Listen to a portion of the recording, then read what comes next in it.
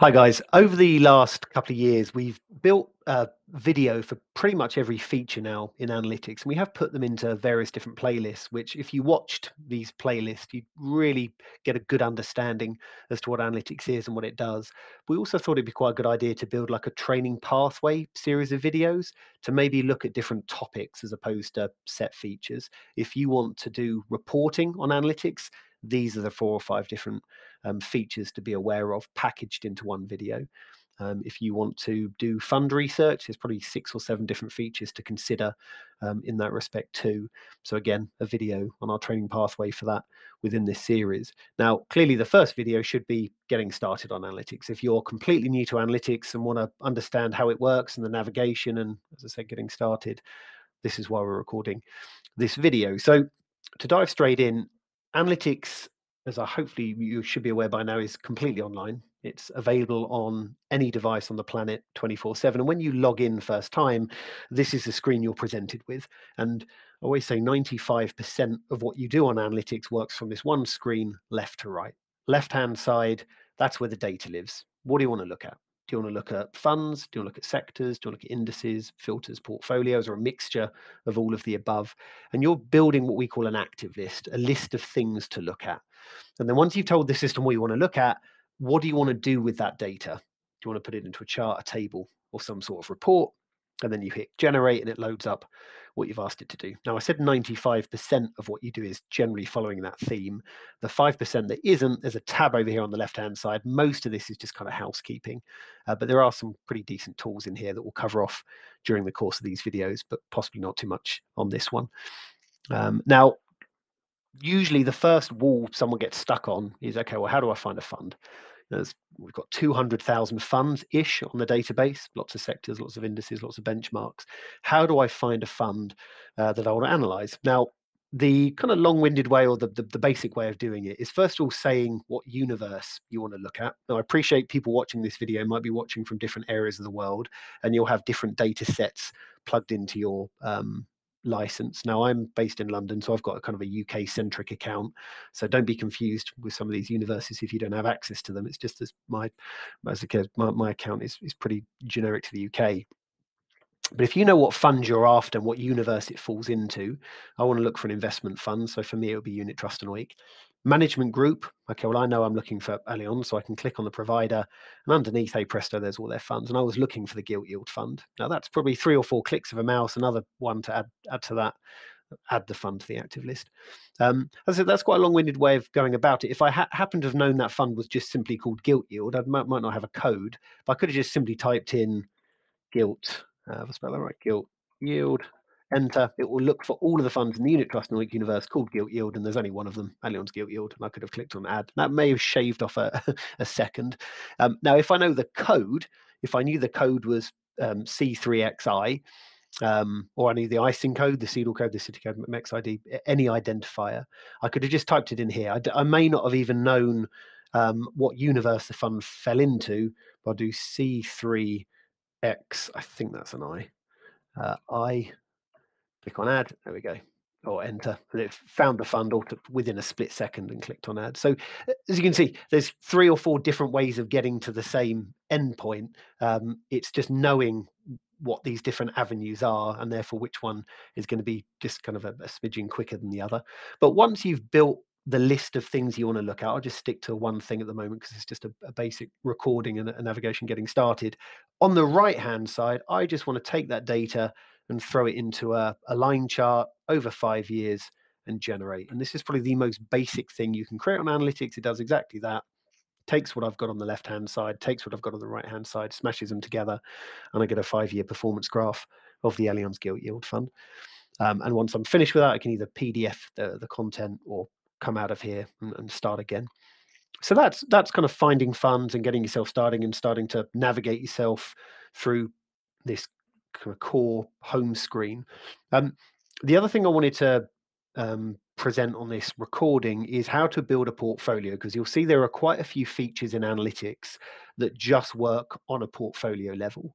Um, you'll see a lot of the reports we'll be covering off in future videos, um, the risk profiling tool, charge comparisons, a lot of what you do on analytics is very much dependent on the portfolios currently sitting in your system. And a portfolio is basically just um, could be basically someone's investment portfolio or pension portfolio. They might just have one fund in that portfolio, it could just be the Allianz gilt yield. But more often than not, there's probably more than one fund in there. And someone might be investing on a particular platform and they've got five funds. They might be using a, uh, one of your model portfolios, which happens to have 10 funds, or an external model portfolio provider that has 30 funds. Um, how do you build those portfolios in the system? First and foremost, if your account is linked to other accounts. That's generally going to happen if you're in a bigger group, um, a bigger network, a bigger national IFA. Um, there won't just be your account you're accessing, it will be linked to all the others within your group. You can share data with each other, and that will be covered off in, in other videos and probably beyond the remit of this one. But if that's the case and the other accounts have already saved portfolios. And when you click on that little portfolio tab, this won't happen annoyingly on my one because I'm not linked to any others. But when I open up that portfolio tab, all of my portfolios will gravitate to the top. But when you scroll right the way down to the bottom, as I said, it won't do this on mine, it will have big bold letters saying public portfolios. And there will be all of the portfolios that all of your colleagues are sharing with you. Um, so that's one way of getting portfolio data straight into your account. Just get your mates to share the data with you and make it public. Now, if that's not the case and you want to build a portfolio yourself, just click on new portfolio once you clicked on the portfolio tab and just build one. Um, and again, you could have the codes, you could you know, import from that main screen. Again, if I've if I've just used all of the codes to build an active list behind this screen, so if I move this out of the way for a second, you might have 10 funds waiting on this, um, so waiting on the active list behind it. When I open up this new page, you can click on that little green icon. It will import those 10 funds into your portfolio. Again, another little time-saving tip. Um, if not, and I want to start finding funds again, it's just kind of the same logic that I've just explained. Go and find a provider Again, I'm just going to stick stick to my friend Allianz gilt yield, add that across, um, and keep going. Maybe it's just a portfolio of um, Allianz funds, so I can just simply click on the funds and keep adding them over. And again, if I know the code or the fund name, I can just pop it in there and search. Either search the existing universe, i.e., that one. If again use my my code I just searched for a second ago, PE12, I can click on that button. Advanced fund search looks at all universes, and it looks at every single fund within the database, there it is again. Click on the little green arrow and ping it straight away back to into my portfolio, which is there. Um, so I can start adding the, the funds across and then assign a different weighting uh, to each one, um, whether that's a percentage weighting or value. I may not know the, the percentage weighting, but I can start typing in the, the value of each one and it will automatically work out the percentage breakdown uh, between each one.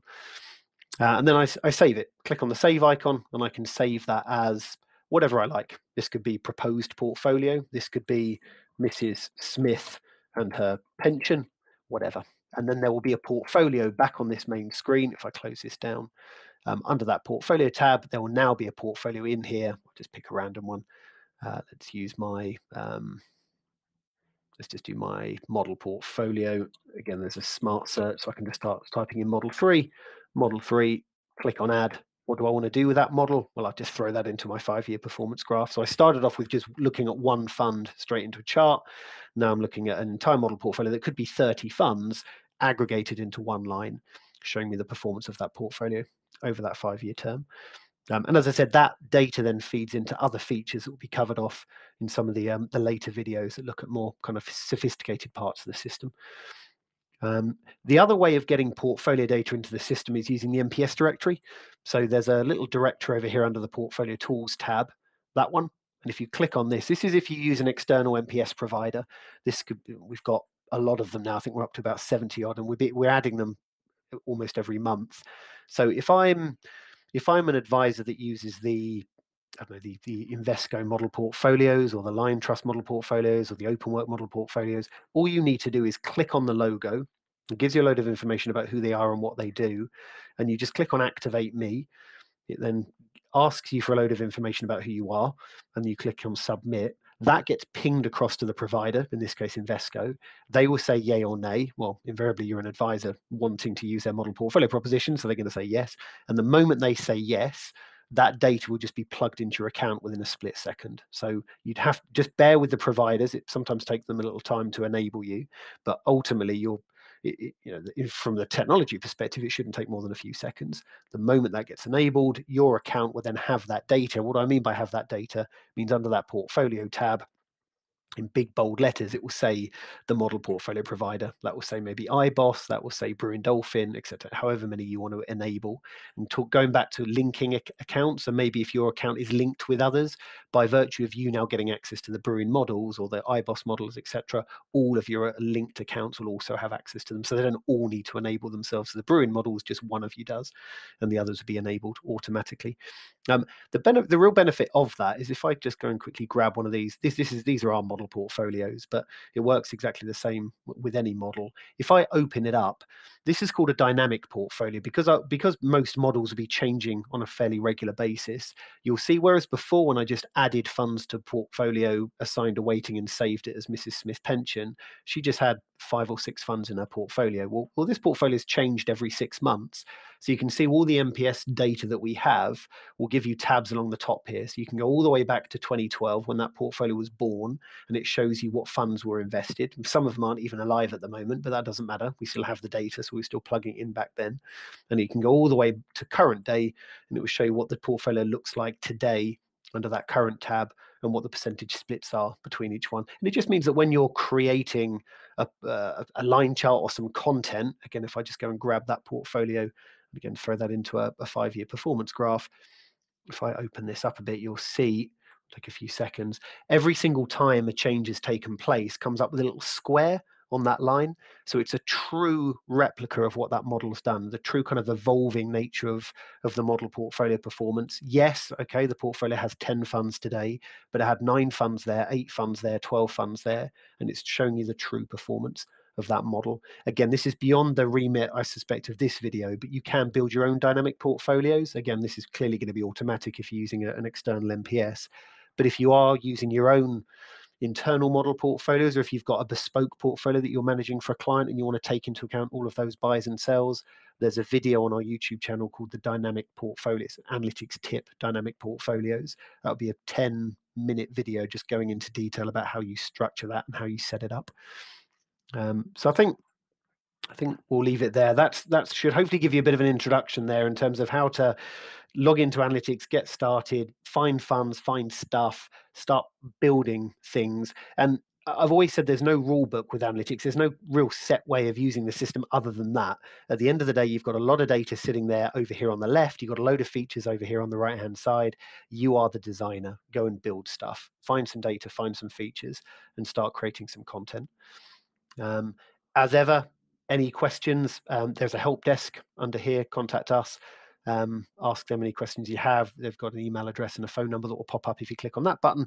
And chat with an expert is also a, a direct line of communication. And with our help desk, um, ask them some quick questions and they can get uh, liaise with you via that live chat. Uh, and of course, if you go onto our YouTube channel, where hopefully you found this video, uh, there's plenty of content there to keep you busy to learn more about the system. Thanks for watching.